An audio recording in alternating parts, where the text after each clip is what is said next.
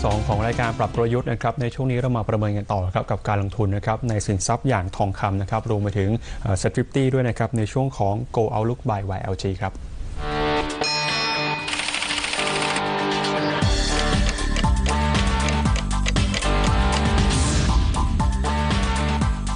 สนับสนุนโดย YLG Bullion and Futures โทร 0 2687 9999 มาพูดคุยกันในช่วงนี้นะครับ กับคุณวรุษรุ่งขำครับผู้อำนวยการฝ่ายวิเคราะห์จากบริษัท YLG Bullion and Futures ครับอยู่ในสายกับเราแล้ว สวัสดีครับคุณวรุษครับครับ สวัสดีครับ คุณจิรปิครับครับ จะเห็นว่าตั้งแต่ช่วงตั้งแต่เปิดปีใหม่ที่ผ่านมาต่อเนื่องไปเลยนะครับ ราคาทองคำทั้งในประเทศต่างประเทศมีการปรับตัวขึ้นมาอย่างต่อเนื่องเลยนะครับ ตอนนี้สิ่งที่นักวิเคราะห์นักลงทุนจับตากันสำหรับทองคำนะครับมีปัจจัยไหนบ้างแล้วก็เอ่อจะต้องระมัดระวังเรื่องไหนเป็นพิเศษบ้างครับครับเอ่อ ตัวทองคำตั้งแต่ต้นปีที่ผ่านมานะครับ ถือว่าทำหน้าที่ในส่วนของตัวสินทรัพย์ปลอดภัยได้ชัดเจนมากขึ้นนะครับ โดยล่าสุดในส่วนของราคาทองคำในช่วงเช้าวันนี้ที่ผ่านมานะครับต้นสัปดาห์ก็ยังมีการทำระดับสูงสุดครั้งใหม่ ในรอบเจ็ดสัปดาห์นะครับขึ้นไปบริเวณพันสองร้อยเจ็ดกับพันสองร้อยแปดเหรียญดอลลาร์ต่อเทรซออนแล้วก็เริ่มมีการปรับฐานและย่อลงมาเล็กน้อย และยังคงทรงตัวใกล้ระดับสูงสุดในรอบเจ็ดสัปดาห์อยู่นะครับ ส่วนหนึ่งเนี่ยเริ่มมี ความวิตกกังวลจากกรณีการถอนตัวของอังกฤษออกจากการเป็นสมาชิกของสหภาพยุโรปนะครับ โดยมีสื่อหนังสือพิมพ์ Sunday Times ของอังกฤษเริ่มรายงานนะครับว่าการแถลงการนโยบายหรือว่าการส่งสัญญาณ การถอนตัวออกจากการเป็นสมาชิกของอังกฤษจากสหภาพยุโรปหรือว่า Brexit เนี่ย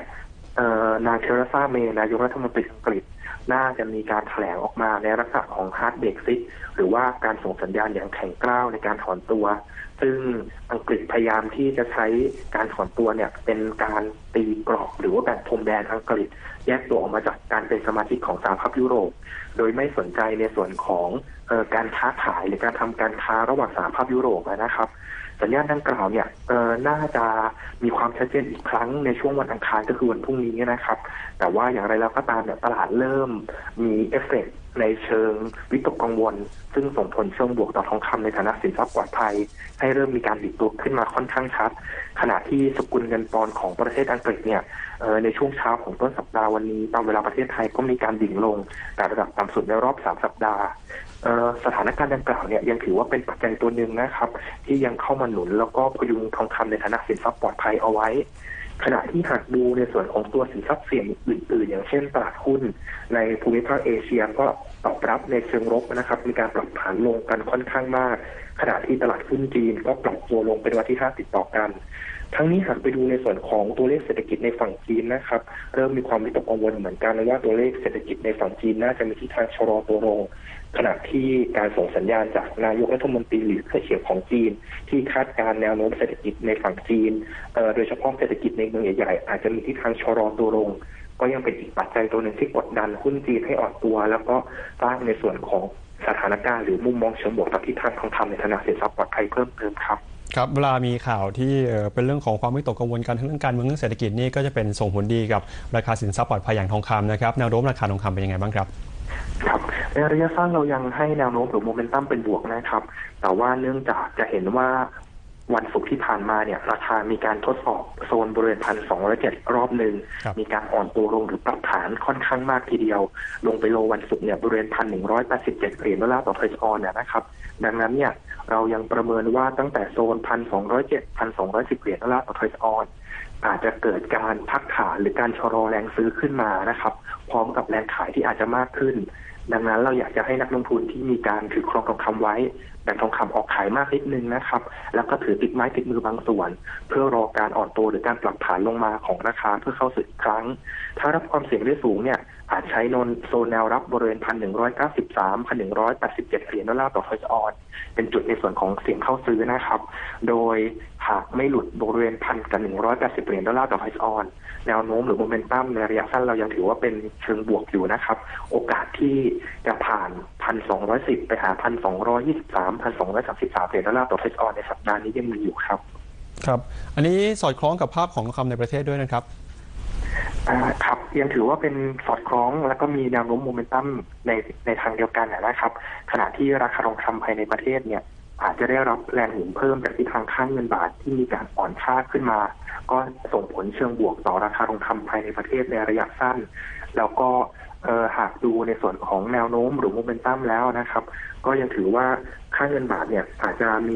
การลดความผันผวนลงในช่วงนี้ ก็อาจจะให้นักลงทุนจับตาดูในส่วนของราคาทองคำต่างประเทศเป็นหลัก แต่อย่างไรก็ตามครับคิดว่าในส่วนของการเคลื่อนไหวในช่วงค่ำของวันนี้ ตัวทองคำต่างประเทศอาจจะเคลื่อนไหวไม่มากนัก เพราะว่าในส่วนของเอ่อตลาดต่างประเทศอย่างเช่นในส่วนของฝั่งสหรัฐ จะปิดทำการเนื่องในวันมาร์ตินลูเธอร์คิงจูเนียร์นะครับ ปริมาณการซื้อขายในตลาดต่างประเทศก็อาจจะเบาบางลงครับ ครับ ถามต่อครับถึงการลงทุนใน Set 50 Index Futures บ้างครับครับ ตัว s e c u r i t y Net Future นะครับ S50 S17 วันนี้เริ่มเห็นการปรับฐานหรือการอ่อนตัวลงตามทิศทางตลาดหุ้นในภูมิภาค แต่อย่างไรก็ตามคิดว่าในส่วนของโซนแนวรับระยะสั้นเนี่ยเราให้ที่ 976 นะครับ แล้วก็แนวรับสำคัญยังอยู่ที่ 970 ขณะที่แนวต้านเนี่ยเรายังแนะนำว่าหากดัชนีรีบาวหรือดีตัวขึ้น ยังแนะนำทยอยปิดสถานะซื้อแล้วเสี่ยงเปิดสถานะขายที่ระดับ 987 ถึง 993 ถ้ายังไม่ผ่านระดับ 993 เนี่ยเออเราก็ยังแนะนำว่าการถือสถานะขายยังเป็นลักษณะของการเสี่ยงขายเล่นสั้น แต่ว่าถ้ารับความเสี่ยงได้น้อย การย่อลงมาแล้วเปิด long position คิดว่าน่าจะเป็นกลยุทธ์ที่น่าจะปลอดภัย โดยแนวโน้มหรือโมเมนตัมเนี่ย เรายังมองเป็นลักษณะของการปรับฐานเพื่อเอ่อสร้างรูปแบบของ sideway up เพื่อเตรียมขยับขึ้นต่อในระยะยาวครับ ครับ อย่างตอนนี้ดัชนีก็ 978 ก็คือถือว่าใกล้ๆกับแนวรับแล้วนะฮะ คนที่ไม่มีสถานะนี่เปิด long ได้ไหมครับอ่าสามารถใช้สิทธิ์ดังกล่าวในการตัดสินใจได้นะครับครับ แต่ว่าอย่างไรก็ตามเนี่ยเราให้แนวรับที่ไม่ได้ไกลมากก็คือที่ระดับ 970 ยังถือว่ายังมีอีกหลายปัจจัยในสัปดาห์นี้ที่จะมีการเอ่อเปิดเผยออกมานะครับ แล้วก็ในส่วนของนักลงทุนยังคงหวังปัจจัยบวกก็คือรายงานผลประกอบการประจำไตรมาสสี่ที่จะมีการประกาศ ที่จะทยอยประกาศออกมานะครับ รวมถึงในส่วนของนโยบายภาครัฐที่จะเริ่มเห็นเป็นรูปธรรมมากขึ้น สถานการณ์ดังกล่าวเนี่ยก็น่าจะเป็นปัจจัยตัวหนึ่งที่จะกลับเข้ามาหนุน แต่ว่าเนื่องจากในระยะสั้นยังมีปัจจัยลบไม่ว่าจะเป็นในส่วนของสถานการณ์ในอังกฤษ รวมถึงในส่วนของการแถลงการของในโดนัลด์ทรัมป์ซึ่งอาจจะทำให้แรงซื้อจากนักลงทุนต่างชาติชะลอตัวลงก็อาจจะทำให้ดัชนีในระยะสั้นเป็นลักษณะของการอ่อนลงอ่อนตัวลงมา หรือมีแรงขายทำกำไรเป็นลักษณะการปรับฐานในระยะสั้นครับ ได้ครับ วันนี้ขอบพระคุณมากนะครับ ครับขอบพระคุณครับ สวัสดีครับ สวัสดีครับ ก็เป็นคำแนะนำนะครับจากคุณวรุษรุ่งคำนะครับจาก YLG Bullion and Futures ครับที่มองว่าตอนนี้ทองคำนะครับถึงแม้ว่าจะเป็นอยู่ในช่วงของขาขึ้นในระยะสั้นนะครับแต่ก็ต้องจับตากันให้ดี ทั้งเรื่องของการเข้ามารับตำแหน่งของคุณโดนัลด์ทรัมป์นะครับวันที่ 20 มกราคมนี้ รวมถึงเรื่องของ Brexit ด้วยที่มีความชัดเจนมากขึ้นนะครับว่าทางอังกฤษเองจะเตรียมตัวเรื่องกระบวนการออกจาก Brexit นะครับเป็นแบบเอ่อที่มีความเอ่อ hard มีความ hard exit ด้วยนะครับก็ทำให้ราคาทองคำมีการปรับตัวขึ้นมาตอบรับข่าวนี้ส่วน Set 50ตอนนี้ก็ยังคงมีการเคลื่อนไหวอยู่ในกรอบนะครับก็ต้องปรับกลยุทธ์แล้วก็หาจุดแนวรับแนวต้านแล้วก็วางกลยุทธ์กันให้ดีนะครับส่วนตอนนี้ราคาดัชนีก็ลงมาอยู่ใกล้ๆกับแนวรับที่ให้ไว้แล้วนะครับแถวๆ976 970นะครับก็ลองพิจารณากลยุทธ์การลงทุนกันดูนะครับเดี๋ยวเราไปพักกันสักครู่ก่อนนะครับช่วงหน้าเรามาดูกันต่อกับพื้นฐานการลงทุนของตลาดหุ้นไทยที่เปิดทำการช่วงบ่ายแล้วครับ